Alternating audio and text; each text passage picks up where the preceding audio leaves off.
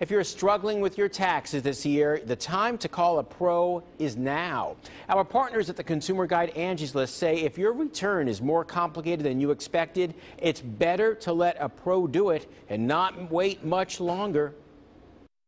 This coming tax season will be anything but ordinary, with a good chance many of us will be paying more in taxes. Here's the income that you have from wages. Here's your total income. So if you've been reluctant to pay someone to do your taxes, you may want to rethink that now. Hiring a professional can actually help you take advantage of deductions you may not even realize you're eligible for. Angie Hicks, founder of the consumer guide Angie's List, says you could shortchange yourself if you file on your own. If you're considering whether to hire or not, Important things to consider would be whether you bought a house this year, whether you changed jobs, or whether you even weatherized your house. There's a lot of tax credits out there available, and you need a pro probably to help you sort it out. CPAs expect to be very busy with all the coming changes, so the earlier you can book a pro, the better. Having a CPA do my taxes has saved me hours and time and probably thousands of dollars in taxes.